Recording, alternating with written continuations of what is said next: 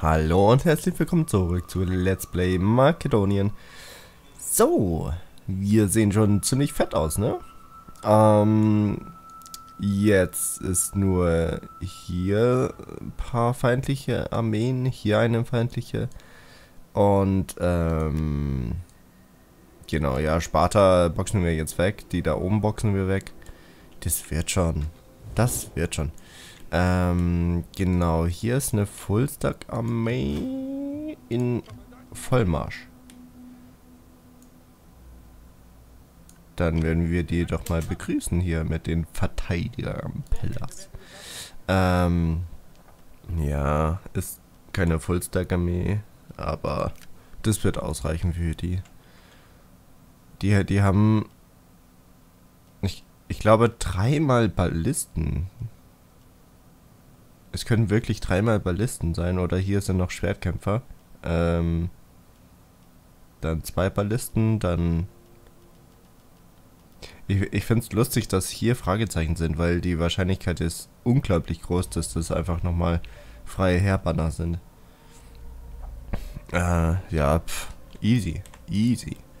So, also nicht so, so easy wegen den Ballisten, also wir können ähm, uns nicht gut verschanzen. Aber wir haben ja genug äh, Kavallerie dabei. So, wie sieht's denn hier aus? Was machst du denn hier? Der Reyes Untergang. Chillt hier sein Leben oder was? Ja, du äh, solltest auch mal langsam ähm, der Untergang der Barbaren werden. Beziehungsweise Barbaren waren, waren ja eigentlich die Makedonier in, im Auge der im Auge der äh, Griechen. Das waren ja die barbarischen Völker da oben. So, was machst du? Die 10.000. Die könnten auch mal... Puh. Was machen denn die 10.000? Soll ich die 10... Warte mal. Äh, genau, hier die, die schippern nach da. Alexander Stolz ist hier. Äh, dann, dann habe ich hier drei Armeen. Also Verteidiger, dann, dann der Reyes Untergang und äh, der Stolz. Ähm, das ist jetzt die Frage.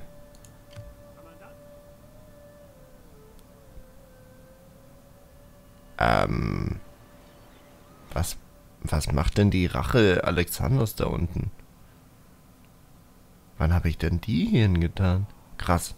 Kann ich mich gar nicht mehr erinnern. Das ist ja nicht gerade schlau, was ich da mache. Beziehungsweise ist ja nicht so schlimm, weil Athen ist ja auf unserer Seite. Ja, okay, dann, dann passt es. Dann war es ja doch nicht ganz so doof. Dann haben wir aber hier drei Fullstack-Armeen für Sparta, äh, Massilia und oben lasse ich dann die 10.000. Weil die 10.000 können jetzt auch nach unten stapfen, beziehungsweise, der, Entschuldigung, ich, ich muss gerade ähm, schauen, wie ich das alles manage. Aber, also, also kann man es, glaube ich, besser sehen. Also, hier habe ich jetzt zwei Fullstack-Armeen, die werden, ich glaube, die werden wirklich für, für den Südzipfel hier von Arabien wird, werden zwei reichen. Dann mit dem stapfe ich Richtung Norden, also mit den 10.000. Mit äh, denen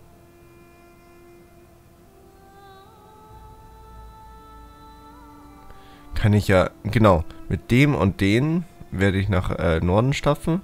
Mit den zwei stapfe ich nach ja, nach Westen und mit der auch. Also die zwei für die drei für Sparta macht eigentlich keinen Sinn, ne? Sparta ist eigentlich äh, nur noch ein Schatten ihrer selbst. Ähm, ah, schau mal, wie groß Marsilia ist. Die sind halt riesig. Die haben komplett Spanien. Ja, okay, egal. Ähm, easy. gibt's mehr zu erobern? Die Konföderation ist auch riesig, aber das ist ja klar.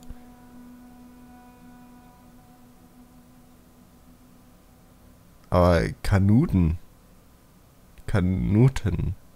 Dass die Kanuten so groß sind, habe ich noch. Ich habe noch nie gesehen, dass die mehr als, keine Ahnung, ein paar Runden überleben. Also die, die habe ich noch nie so gesehen.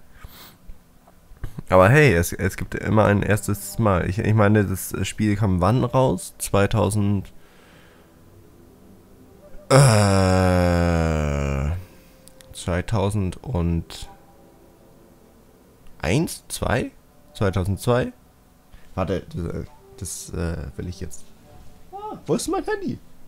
Das will ich jetzt nachschauen. Wo ist mein. Hä? Das hatte ich gerade in der Hand. Bin ich jetzt doof? Ah, ja. Ich hab's zum Aufladen geschickt. Gut, also. Ähm, während ich nachschaue, könnt ihr ja überlegen, was für eine Strategie ihr machen würdet. Also auf welche äh, Himmelsrichtungen würdet ihr wie viele äh, Armeen schicken, beziehungsweise würdet ihr nur ähm, also eure Armeen auf eine Seite äh, richten. Also das heißt, ähm, entweder ähm, wie Rom gegen Griechenland. Äh, Rom hat ja äh, Spanien und äh, ja eigentlich ja Spanien übernommen. Und dann haben sie komplett alle Legionen Richtung Griechenland geschickt. Entweder so oder ähm, im ja, äh, am Ende von ähm, Roms Zeiten haben sie ja überall ein bisschen angegriffen. Genau, entweder gegen Griechenland oder gegen alle. Gut. Aber ich, so, so lange brauche ich gar nicht. Äh, Rome Total war zwei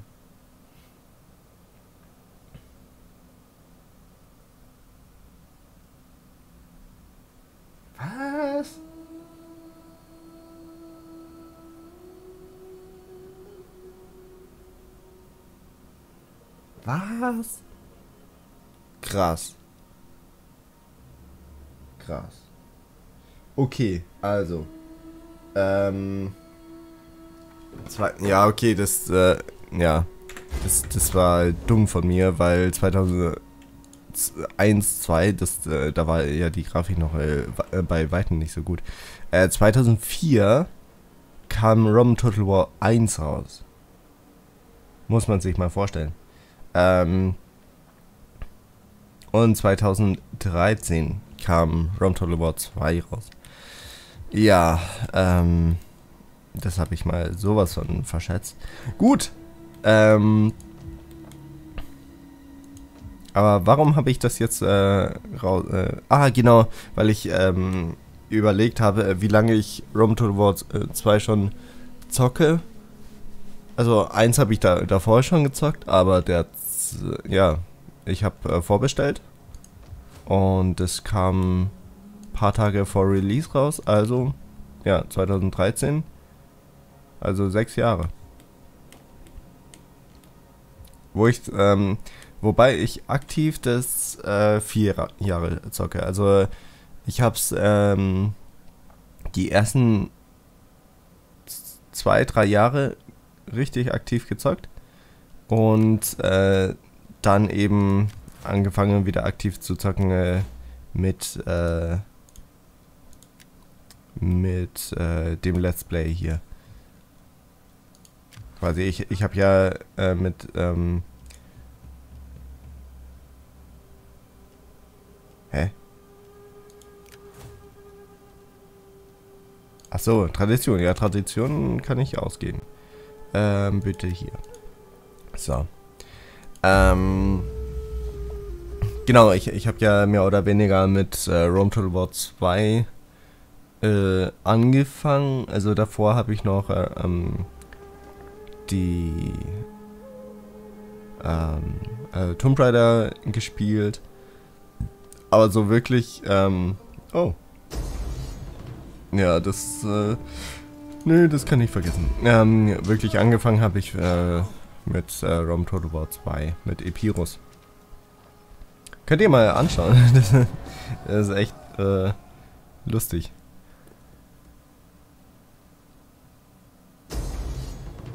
Bist du, hä?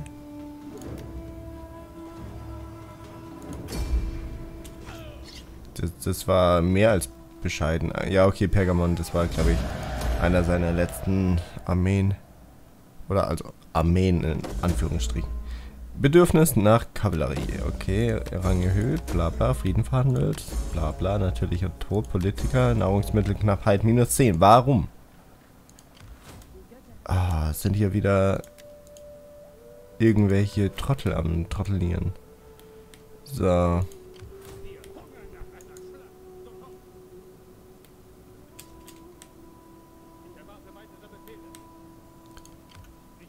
Äh, okay, du machst dann den. Und du steigst dann weiter. Ah, sieh mal eine an. Die Flügel des Pe äh, Pegasus und die Kinder des Zeus.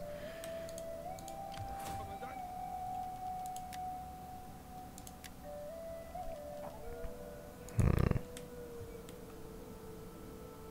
Okay, das sind jetzt äh, schon die linke Faust äh, Alexanders, äh, die habe ich glaube ich vergessen. Die, die kommt jetzt auch. Ähm, die habe ich vergessen, äh, dass da noch eine ist. Ach, und da ist ja noch äh, eine Flotte von mir. Ja, sehr schön. Ähm, dann schnappst du dir mal das da. Der sagt, dass, äh, dass ich ziemlich viele verlieren werde.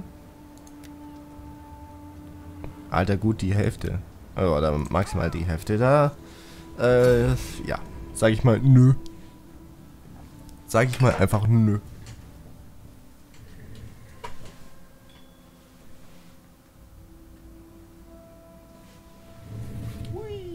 So, muss ich kurz wieder mein, ähm, mein Handy zum Aufladen schicken. So, wir sind hier Bisschen, ein bisschen blöd, dass das ja jetzt so eine Steigung ist, aber das wird schon. Also. Hier schicke ich zwei hin, hier schicke ich zwei hin. Der wird durch die da unterstützt. Nee, nee, nee. Er wird durch die da unterstützt. Die unterstützen hier die Hauptangriffs äh, äh, bla bla. Und die sind spontan da. die sind mal spontan da. Äh, und die schauen hier rum. So. Hier sieht man, ne, dass, dass er sich hier aufstellt. So. Es nähert sich feindliche Unterstützung. So. So. So, wo kommt die her? Ah, von gegenüber. Das ist ganz praktisch.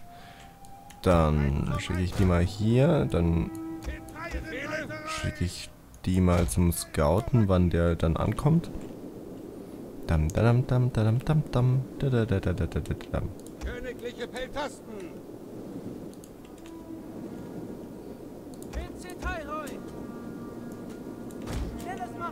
Königliche Peltasten.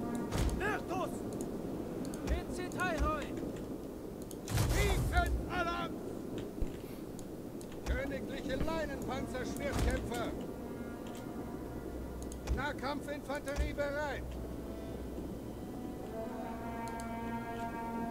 Befehle? Obliegt bereit!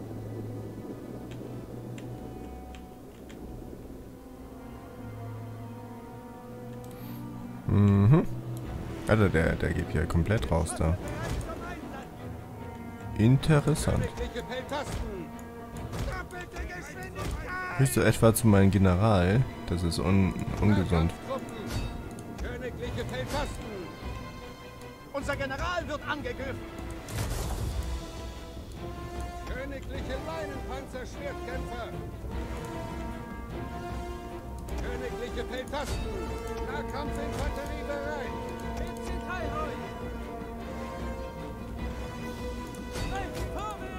Eine unserer Einheiten hat ihre gesamte Munition verbraucht. Die Krieger erwarten euren Befehl. Königliche Peltasten. Beacon bereit! Doppelte Geschwindigkeit! Eine unserer Einheiten hat ihre gesamte Munition verbraucht. Bereit zum Einsatz. Nahkampfinfanterie zu euren Diensten. Mhm.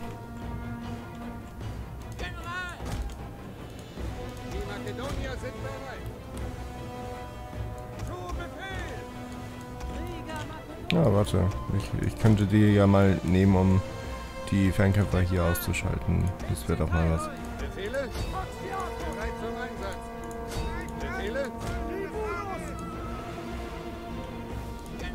Oder ich gehe einfach mit dem General.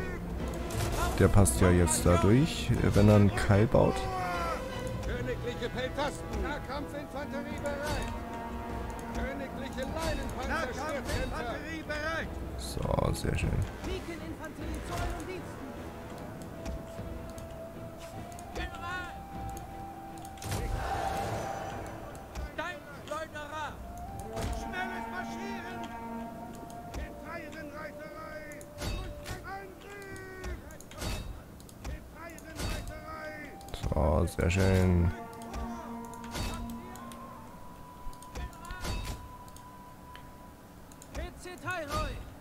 ist jetzt auch platt. Der ist jetzt auch platt. So, sehr schön. Gut, äh, die stapfen mal hier hin. Die stapfen mal dahin. Dann könnt ihr die sehr schön aufhalten. Du stapfst mal dahin. Einheiten hat ihre gesamte Munition verbraucht. Äh, fertig? Gut. Dann alle Richtung Base. Weil das will er wieder einnehmen. Aber das kann er nicht. Weil wir haben die besseren Pikniere. So, ihr geht mal wieder raus. Aus dem Hause raus.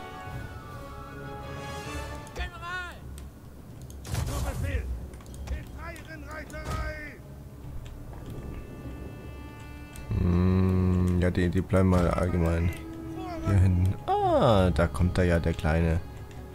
So. Ah, hey. Ähm, Nachteil ist, dass ich äh, sehr wenig, ähm, sehr wenig ähm, Munition noch habe. Aber an sich wird es reichen. An sich wird es äh,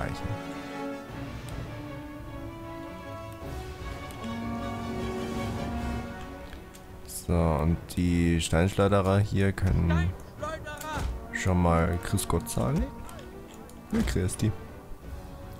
So. Weil ich, ich glaube, jetzt äh, können die die auch schon sehen, oder? Nicht wirklich.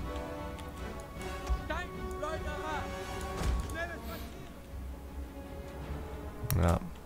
Aber die, die können eh nur bis, bis dahin werfen, das, das bringt nicht viel. Dann werfen sie hier schön von der Seite. Piu, piu. Das wird lustig. So. Dann mal vorspulen. Ist ja alles so wie geplant, ne? Ihr könnt euch, glaube ich, ein bisschen breiter noch aufstellen. Nee, könnt ihr nicht. Stopp. Was macht ihr denn? Schnelles das, das war schon das breiteste, was es äh, bei. Breitheit geht. So, hier geht noch ein bisschen breiter. Vorrücken! Okay. Super. Wo sind die restlichen? Hä? Wieso können die die nicht sehen? Das ist ja blöd. Ja. Ja.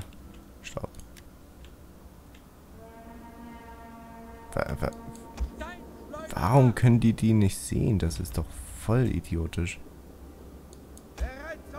Und die können auch nicht werfen, oder was? Ah, das, das ist ja sehr logisch. Das ist ja super logisch.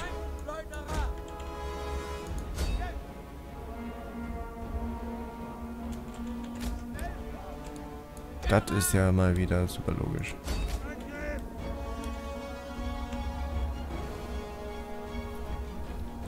Warum auch immer der den so ähm, fre- freigiebig anbietet.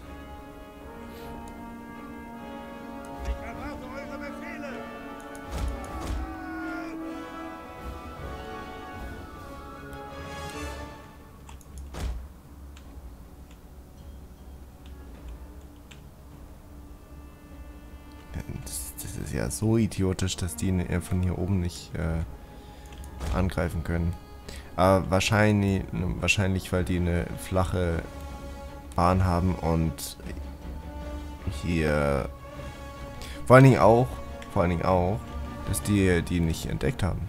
Ist ja auch voll idiotisch. Egal.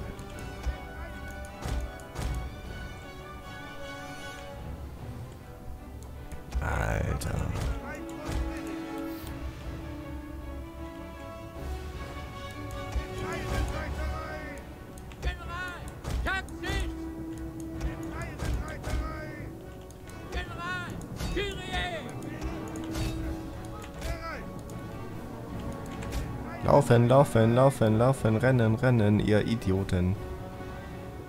Ach. Ich hab doch R gedrückt, damit die anfangen zu rennen. Also, ja, da- das ist so eine Mechanik, die nervt ziemlich, ehrlich gesagt. Dass man, äh, wenn man äh, bei Kavallerie sagt, die sollen angreifen, äh, gehen die zum Ziel. Also man, man muss ständig immer wieder sa sagen, dass sie rennen sollen. Also hier, wenn man die einfach so wegschickt, dann, dann ist es überhaupt kein Problem. Aber sobald es, sobald man ähm, die zum An Angriff klickt, dann ist es vorbei. Dann ist es vorbei. Ja, von, von hier könnt ihr schießen, ne? Ja, ja. So, nächster Versuch. Next try. Let's try something out.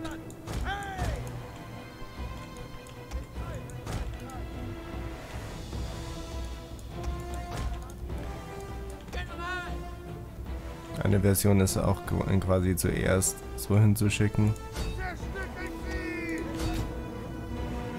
Jetzt, äh, jetzt habe ich auch äh, mehr oder weniger gleichzeitig. Ähm.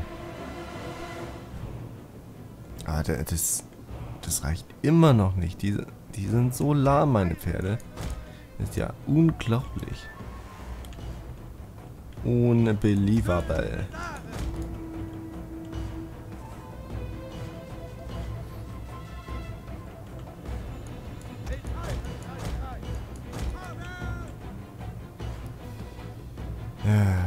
Ja, jetzt greif mal hier an. Das ist ja, das wird ja langweilig hier.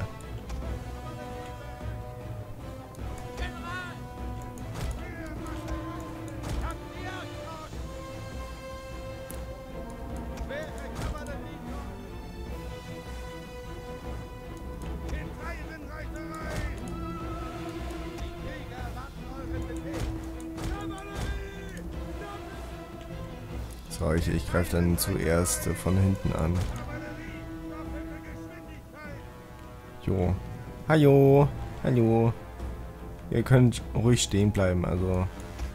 Und auch lustig ist, ähm, wenn ich so drücke, dann checken die nichts. Aber sobald ich an, äh, angreife, warte.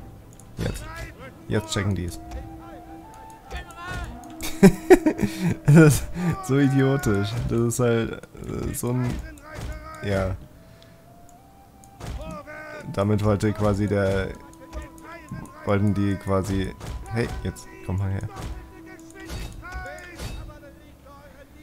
Wollten die ja quasi den äh, Computer, äh, oder der KI einen kleinen Vorteil ähm, verschaffen, dass er. Also, äh, die KI, also könnt ihr euch merken, ähm, die weiß sofort, wa was ihr klickt. Also, wenn ihr jetzt zum Beispiel äh, hier drauf klickt, dann werden die sofort reagieren. So. Und jetzt äh, äh, können, können wir bitte wieder zurück zur Armee gehen? Hier, ihr Idioten. Ihr, ihr wollt wirklich Kavallerie chasen. Das ist, das ist äh, idiotisch. Das ist mehr als idiotisch. Also, jetzt wird der Hauptangriff doch hier stattfinden, weil der zu dumm dafür ist, beziehungsweise weil, weil er sofort wusste, wo meine, mein General ist. Äh, wir gehen mal einfach hier hin. So, das können wir auch vorspulen. So, tut mir echt leid. Also ich, ich dachte nicht, dass der so nervig ist. Aber offensichtlich ist das. So. Jetzt bitte normal angreifen hier. An sich hätte ich ja jetzt auch hier zu machen können, aber äh, hier ist es äh, einfacher.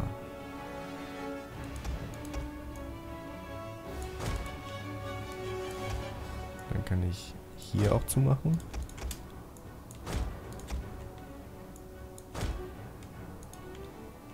Dann kann ich sehen, was, was da abgeht.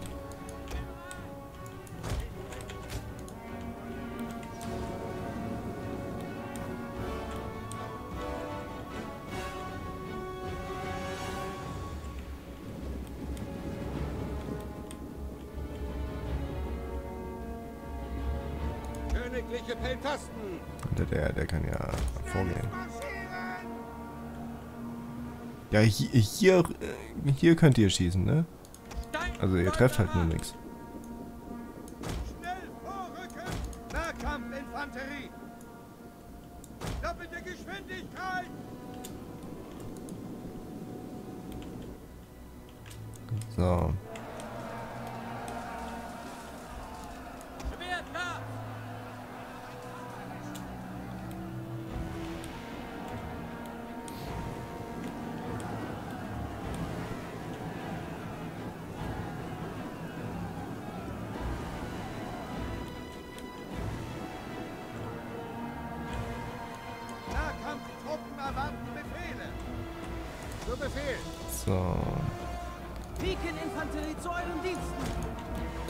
Hier, einfach mal die Klappe zu. Klappe zu, Affe tot.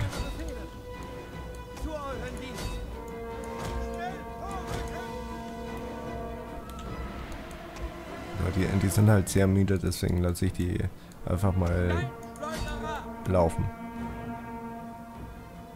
Gut, dass er äh, die Leinpanzer-Schwertkämpfer angreift und nicht die Pikeniere, weil die sind ja um einiges besser.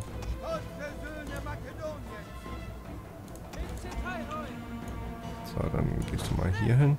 Ja, oder ihr geht dahin. Ihr geht dahin. Ihr geht dahin. So. Das sieht doch schon mal sehr, sehr vielversprechend aus.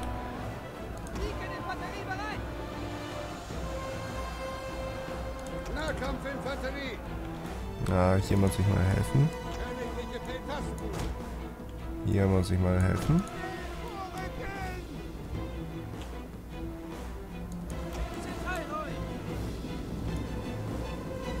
Bisschen breiter aufstellen, bitte.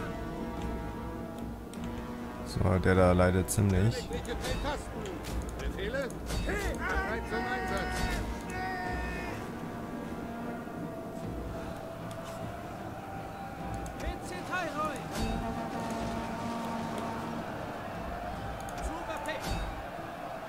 So. Das sieht schon mal gut aus. Das sieht jetzt äh, langweilig aus. Der flieht schon wieder. Ja, wahrscheinlich, weil er den General gesehen hat. Oh. Langweilig. Langweilig. Ihr seid so langweilig. Dann schicke ich mal die Kavallerie vor. Ah,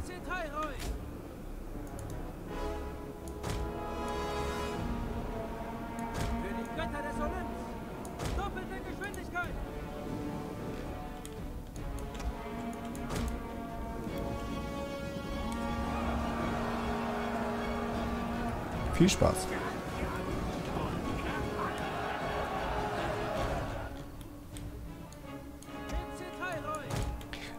Das war zum Beispiel, ich, ich weiß nicht, ob ihr Game of Thrones anschaut, aber das war zum Beispiel auch äh, sehr, sehr lustig bei der Schlacht der Bastarde. Die wird ja als äh, ja, einer der, der besten äh, Schlachte, schlechte Abschlachtungsszenen in Game of Thrones gesehen. Aber ähm, ja, das das, äh, das hat äh, nicht sehr viel Realistisches äh, an sich, aber ist ähm, trotzdem ja, immer noch gut für, für eine Filmschlacht. Ähm, was da lustig ist, äh, sind die ähm, ist die Phalanx, die die, ähm, die Feinde quasi bauen. Also die, umkreisen ja ähm, äh, die ja, die Guten, sag ich mal. Und ähm, bauen eine Phalanx. Und äh, wie sie die Phalanx bauen, ist ziemlich interessant, weil sie äh, die erste Reihe hat nur Schilde, hat äh, ziemlich große äh, Tellerschilde. Ähm, und äh, die Reihe nach ihnen hat äh, sehr lange Piken. Und Fazit ist, dass ähm, ja, eine Pike kommt, dann ein Schild, dann eine Pike und so weiter. Und äh, die Piken haben einen Abstand von natürlich ähm, ein Schild. Und äh, ja, das ist ähm, das ist äh, ein sehr großes, ähm, eine sehr große Lücke. Und äh, da haben sich auch manche schon bisschen lustig drüber gemacht, beziehungsweise ähm, fanden es ein bisschen amüsant, äh, dass da wirklich, ähm, ja, dass, dass es halt so krass unlogisch ist, dass äh, da niemand durchkommt. Ähm, wenn man dann, ist das ein Feind, ja. Wenn man dann äh, zum Vergleich eine echte Phalanx anschaut, also von, von, ähm, von Sparta oder von Makedonien hier, äh, dann sieht man schon, was, was der Unterschied ist. Also, ähm, die Pikiniere haben halt äh, keine großen Schilde, aber da, zeigen halt die ersten drei Reihen oder ersten zwei, drei Reihen zeigen mit den Piken nach vorne. Und das ist äh, so ein großer Unterschied. Weil dann äh, entsteht halt wirklich kaum eine Lücke. Und äh, ja, genau. Aber... Hallo.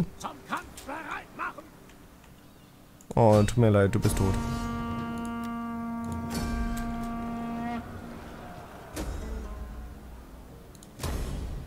Yay, Peckermann ist weg. Wurde ja auch mal Zeit. Gut. Ja, 33 Minuten. Ne, gut, wir haben schon wieder überzogen. Danke fürs Zuschauen. Ich hoffe, euch hat es gefallen und nächstes Mal werden wir ja, Sparta aus Griechenland rausschmeißen, würde ich sagen. Bis dahin, macht's gut, bye bye.